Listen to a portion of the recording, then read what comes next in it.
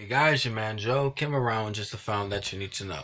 So somebody is asking me if should Christians play Fortnite. I asked the Lord about this, um, about it, and He said no. It's because it takes away the intimacy in a relationship from Him. So, I, so Christians, you should not be playing Fortnite.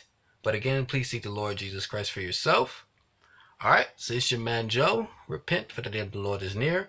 Please make Yeshua, Christ Jesus, your personal Savior today. Please be washed by the blood of Yeshua. Be baptized in the Holy Spirit and fire. Prepare for the rapture. Prepare for Yeshua's coming. Prepare for the wedding supper of the Lamb. Prepare for the seven-year tribulation. And prepare for the great white throne judgments. Okay, so it's your man Joe. See you guys in another video. So, okay? All right.